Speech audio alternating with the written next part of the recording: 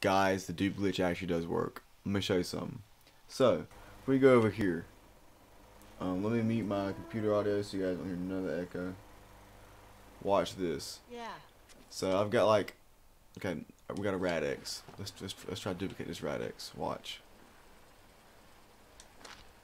All right, you just guys take time with it. There's I only got one in my inventory. Just keep watching. Just keep watching. It'll change. Eventually, it's gonna fucking change. I've only got one. Now watch. I'm starting a dupe glitch for now.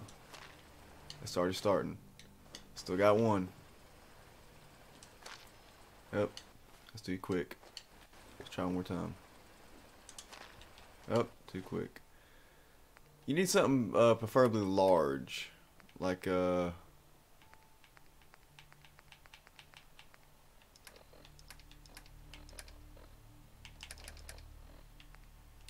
Let's do this again. This is what I did earlier. I did do one of these earlier and managed to do it and get away with it.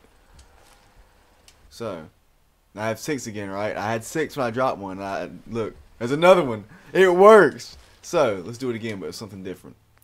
Um, let's try Tato. This is gonna be a little harder because it's a smaller object.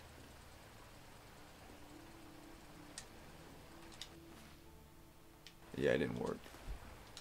Sometimes some things are just gonna be too hard to do. Small, smaller things like these are gonna be hard as fuck. Yep. It's something you got to keep doing. Oh, no, I got two of them. What? What? I three. Nope. Yep. It works!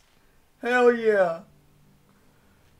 And that's a deep glitch for you. Try it out. What you're going to need is these things exactly.